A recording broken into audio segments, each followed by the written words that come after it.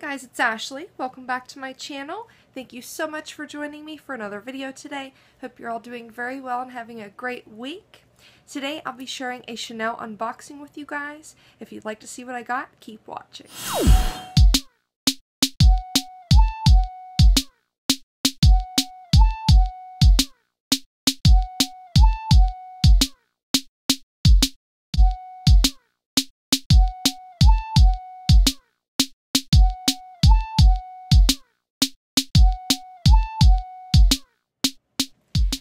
So as I said, today will be a special unboxing by Chanel. I would like to apologize for my absence. I know it's been about two months since I last made a video, and I'm sure you guys can understand that summertime is just pretty busy. Of course, the kids are off school, we went on vacation, we're doing a lot of parks and things to that nature. So now that school is back in session, you will be seeing more of me. So again, I just want to apologize that it has been so long, but I appreciate all you guys' support, both here on on YouTube and on Instagram.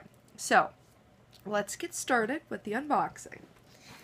So all I have done here is I did cut the box just to kind of save some time, if you will, because there was an awful lot of tape on here. So as I had already said, this item is from Chanel. So I will just open up like so, so you can see what I am seeing. And very, very nice of my sales associate looks like he included a nice large Chanel shopping bag. So, very wonderful. And then this is the next section that I'm seeing. So I have my booklet here, and I believe inside of here is the, um, the cloth to wipe the bag. So we have that. And then we have the lovely Chanel sticker there and the tissue, so I'll just go ahead and unwrap this.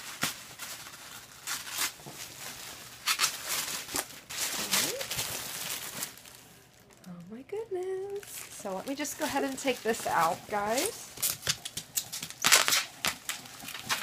Bubble wrap. Everybody loves some good bubble wrap, right? Oh my gosh. And take the bubble wrap. And the box out here. Okay, so this is what I am seeing. So, here is my receipt. And I can, I'd be happy to go over the pricing with you guys if you would like. As you guys know, I usually don't mention pricing in my videos. I feel that if it's a bag that you're on the market for, you're familiar with the pricing, so I choose to leave it out just to uh, curb some of the drama, if you will. But happy to share it if you guys would like. So, again, the beautiful camellia, the Chanel ribbon. This is the painful part. I, I hate to take these things off. The packaging is just so nice. Oh my gosh. Okay. It must be done because I really, really want to see the bag. So we'll just stick this guy back on here. All right. So we have the box. And, okay, I see here. They have it taped along the sides, so I'm looking, I'm like, what do they do with my scissors? But they are just out of reach. So while I'm doing this, I'll explain the story a little bit behind this. Um, this is a bag that has been on my radar for a little while now. And, um, you know, within the last month, month and a half, I really decided, yes, this is a bag that I, I do want to pursue and I want. However, it was very, very difficult to find. So, um, huge shout out to my sales associate. He is absolutely wonderful. He found me um, what he says is one of the last two of this item um, left in the U.S. So, let's go ahead and pull out the tissue. Okay. We have the dust bag and my apologies. This is my um, care booklet and everything here. Okay, guys, any guesses? I know a few of my friends do know what this item is, but if anybody has any guesses, now would be the time. Okay. just this. Any guesses now? Any guesses now? I'm sure you guys know. Okay, if this isn't a giveaway, I don't know what is. So let's remove the, the felt here. Oopsie. Oh, how darling. Okay, let's remove this last piece here. Oh, wow. So, I present to you guys the newest addition to my Chanel family. This is the gorgeous Chanel Coco handle in size small, and it is the Black Caviar Ruthenium hardware, which is the Ruthenium hardware and caviar are the only combination available with this bag at this time. Um, however, I do know when I was searching for this piece and it was starting to appear that I wasn't going to find one, um, I did find out and I did get on a reserve list that this bag will be coming out either in September or October and there will be some more variations. I believe, um, I want to say they're going to do calf skin and um, Sam at um, Snape HBP had said that they were going to do some type of different leather or texture uh, as well. So, anyway, go ahead and unwrap the handle here. I'm so excited. It's absolutely gorgeous. It's just such a perfect bag. Okay, this is packaged very beautifully. Okay. Now we are cooking. Okay, wow. Packaged very, very well. So there's this last little section. I'll leave that for now. So, again, here she is. So some details here. As you can see, there is a very beautiful shine to the caviar. The ruthenium hardware, and there is a very small little Chanel displayed there with an emblem. You guys probably won't be able to pick that up on the camera, and of course the ruthenium hardware is gorgeous as always. I absolutely love the top handle. Very substantial, very sturdy, well made. The side shot, which this is a squishier bag. Of course, it's not um, not as structured as a classic flap, if you will.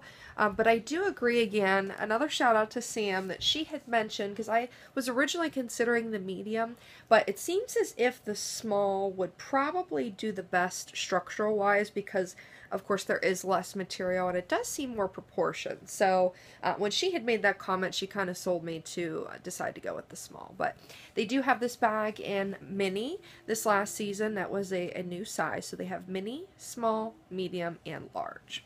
And then I know they have, they have the black, they have beige, and navy. I'm trying to think if there were any other colors. I have seen like a reddish maroon type color as well. So, and then of course you can get uh, exotic prints. You can get, I believe it's a li lizard handle. Um, so lots of different variations. So continuing on, this is a chatty video because you could tell it's been so long since I've been on here with you guys. Here is the beautiful pocket on the back. And then I will hold this up. This is the, um, the style number. I'll hold this up so you guys can pause if you're interested. Okay. And then as you can see, I do have the long strap as well. And this was the last little piece that was left wrapped. So I'll try to hurry up and unwrap that. Because next time I know not to ditch my scissors so soon. But yes, this bag, as far as what it holds, it's pretty comparable to the Jumbo, which is really the perfect size for me. Um, to hold it next to the medium-large flap, it's pretty comparable as far as, you know, the exterior size. It's a little bigger than the medium-large, but uh, because it is a lot wider, it does hold more. So, so now we have full detail here on the long strap. It has this very nice leather break, which everybody has said in their reviews, very, very comfortable. And then, of course, the leather entwined strap with the ruthenium hardware. And then since this is from this past season, mine does have the removable strap. So as you can see here, there is a small little oh, metal section, if you will, and then the clasp that just opens like so. Okay, the turn lock that I absolutely love. And let's go ahead and remove the stuffing for you guys. And I really enjoy the interior layout to this bag. I think it's actually pretty genius. So, my goodness, even more tissue paper. I keep that nearby because this is a bag that will need to remain stuffed. Um, similar to my bag of the day back there, my chain around maxi. Um, it is a more of a smushy bag, but um, this bag definitely has more structure than the chain around. So here's an inside shot. So as you can see, there is a front compartment. This is the biggest compartment of the bag. And then there are a few slip pockets. There are two large slip pockets and then a lipstick pocket, if you guys can see. And then there is also a back larger compartment. And then you have this nice zipped compartment as well. And then I'll see if you guys can see the, um, the Chanel stamp there. And then the sticker is way, way down in this far corner here. There's probably no chance in seeing it, but just so you guys are aware of where it is. And then there is also a back zipped pocket, which is very nice um, for small items you may have. And inside of there, I have my authenticity card. So yeah, I think uh, I think this bag is honestly great. Uh, it's a great price point. Um, very beautiful, just different, if you will. It's it's similar to the you know the classic Chanel-esque design, if you will, but it's different at the same time. And I feel that this is a bag that can be dressed up, dressed down. It can carry you through the day and the evening. I feel that the top handle is a nice, elegant look. However, the long strap, you know, of course, provides uh, a lot of adversity. You can wear it on the shoulder and you can also wear it crossbody. So if you guys would like any more details or a review of what's in my bag, whatever you guys would like, please let me know in the comments down below. I'd be happy to do that for you. Um, I just like to use a bag for at least a couple weeks before I, you know, begin to comment on it. So I would be happy to do that. There are some videos on this bag on YouTube, but not a whole, whole lot. So I do plan to do some type of video regarding this bag. So if you guys, you know, have any particular requests, please let me know. I would also like to briefly touch on a subject that has been addressed time and time again. My uh, ever growing love for Chanel and the further steps away I seem to be taking from Louis Vuitton. For me, again, guys, it's really just the timing thing. I'm not thrilled with many of the things that Louis Vuitton has out right now. It's just not my style. Um, you know, I know a lot of people love it, but it's just, it's not, you know, what I think when I hear, see, or say Louis Vuitton. So all of this kind of came at a good time, if you will, my, um, you know, my Chanel addiction.